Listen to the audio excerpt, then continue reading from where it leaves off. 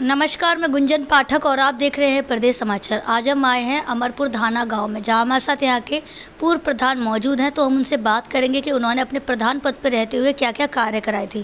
तो चलिए प्रधान जी से बात करते हैं और सबसे पहले उनका परिचय जानते हैं। प्रधान जी बहुत बहुत स्वागत है आपका हमारे चैनल में। सबसे पहले अपना परिचय बताइए। मेरा नाम भगवान सिंह है और ग्राम पंचायत अमरपुर धाना विकासखंड गोंडा है, डिस्ट्रिक्ट अलीगढ़ तहसील इगलास। तो प्रधान जी जैसे आप लास्ट फाइव ईयर प्रधान पद पर रहे थे तो क्या क्या आपने अपने गाँव में विकास कार्य कराए? देखो मैंने शौचालय बनवाए थे गाँव में। एक सामुदायिक शौचालय भी बनवाया और प्राथमिक विद्यालय में शौचालय बनवाया। इंटरलॉकिंग कार्य भी कराए। पंचायत भवन की बाउंड्री भी कराई बाउंड्री वाल और मनरेगा के कच्चे कार्य भी कराए किसानों के।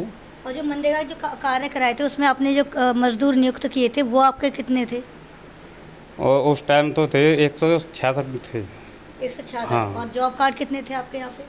नहीं टोटल एक सौ छियासठ जॉब करते अच्छा जॉब कार्ड एक सौ छियासठ। और जैसे मजदूर होते कम ज़्यादा होते हैं। हाँ मजदूर में किसी दिन सौ सौ लोग भी रहते थे किसी दिन एक सौ बीस भी हो जाते थे किसी दिन अस्सी भी थे। अच्छा। यानी कन्फर्म ये नहीं था कि ये लगातार नहीं कभी कमती बढ़ती होती है जैसे किसी को काम है नहीं जा पा रहा है।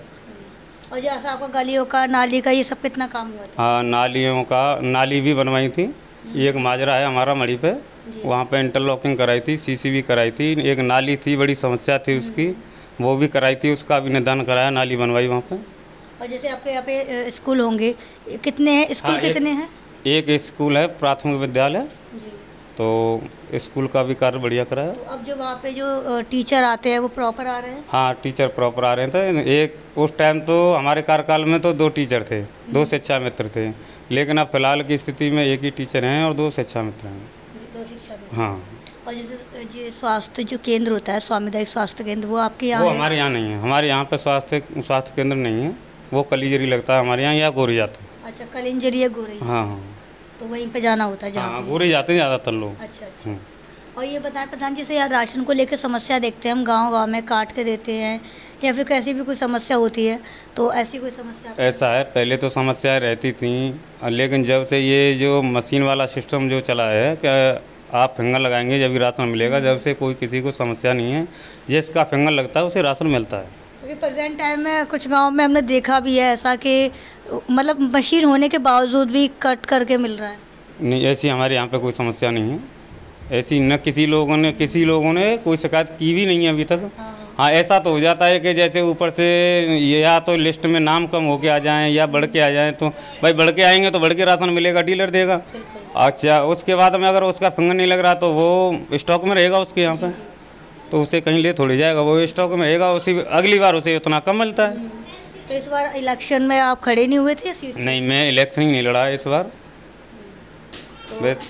तो यहाँ पे जो मतलब जो इलेक्शन में खड़े हुए थे तो वो अभी उन्होंने क्या क्या कार्य कराए हैं? देखो जो अभी कच्चे कार्य कराए हैं उन्होंने चक रोड के कराए हैं और एक पंचायत भवन में एक रूम का निर्माण कराया है शौचालय भी बनवाया है वहाँ।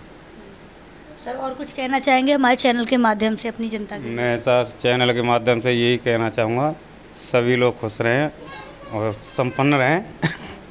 सबके लिए धन बधाई। बहुत बहुत शुक्रिया। तो जैसा कि आपने देखा हमारे साथ धाना अमरपुर गाँव के पूर्व प्रधान मौजूद थे जिन्होंने हमारे हर सवाल का जवाब बहुत अच्छे से दिया।